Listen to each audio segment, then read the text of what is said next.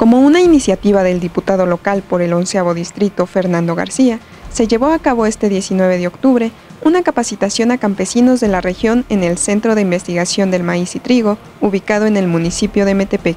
Sabemos que este centro de investigación es internacional y, ha estado desaprovechado por parte de los productores del Estado.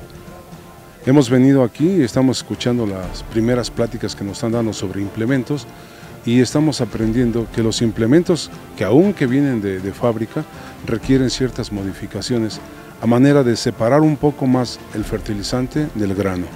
Charlas e intercambio de experiencias sobre las investigaciones que en este centro se realizan con el fin de tecnificar al campo y dar mayor rendimiento a los cultivos. Aprovechar todo lo que ellos han hecho durante muchos años.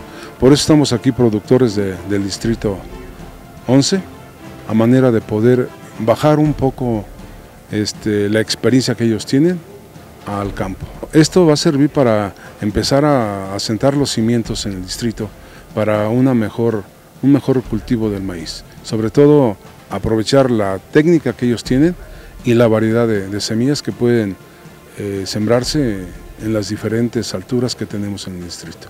Este centro brinda información a los productores sobre las alternativas de semilla viables en cada región, dadas las diferencias de altura y clima, así como asesoría sobre novedosas técnicas de siembra.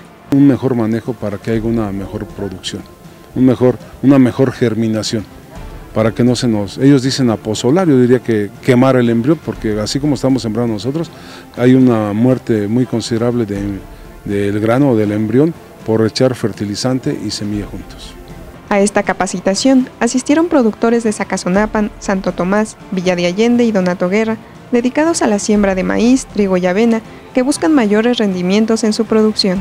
Imagínate, nosotros la media en el Estado de México, estamos hablando que tenemos en la media del Estado de México de 3.4 toneladas por hectárea y ellos están sacando aquí 11, 13 toneladas por hectárea. Entonces puedes ver tú eh, el rendimiento que tenemos si nosotros tecnificamos más la siembra con mejores híbridos. Ante la situación de abandono de la actividad agropecuaria y con las técnicas rudimentarias que prevalecen aún en el campo mexiquense, la Diputación local considera pertinente llevar esta capacitación a un mayor número de campesinos. Siempre sembramos teóricamente de los abuelos y ya no la realidad la tierra ya no nos responde como aquellos tiempos que nos respondía. Eh, ahorita lo que necesitamos es eh, buscar nuevas técnicas para que produzcamos. Sobre todo la capacitación nos falta bastante eh, y por eso venimos, acudimos a estos centros para que nos orienten.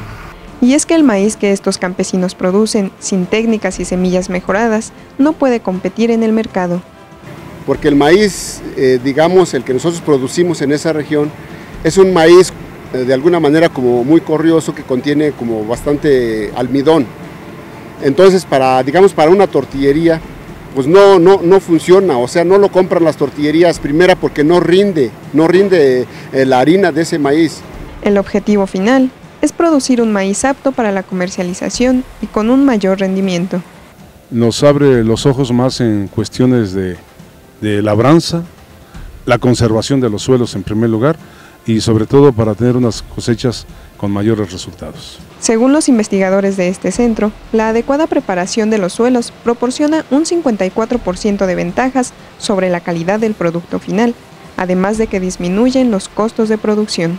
Son los mismos suelos, pero ¿cómo los podemos mejorar? Como decían ellos, el subsoleo o voltear la tierra de, de una profundidad de 40 centímetros, echarla arriba para agarrar los nutrientes que tiene esa tierra abajo que el maíz, la raíz del maíz no, no le llega de lo que hemos aprendido aquí ahorita, yo creo que nos vamos con la idea de que vamos a producir más de lo doble de lo que estamos este, produciendo ahorita, nada más implementando un poquito la, la teoría que él nos está dando ahorita con relación a la siembra. Con capacitación y gestiones para mayores subsidios, es como la Diputación local busca mejorar las condiciones del campo mexiquense.